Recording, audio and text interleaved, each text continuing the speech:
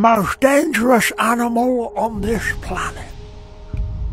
A violent creature filled with hateful thoughts and a lust for blood. Teeth like razors to suck the meat from your bone. Yes, when all is said and done, she is a killer.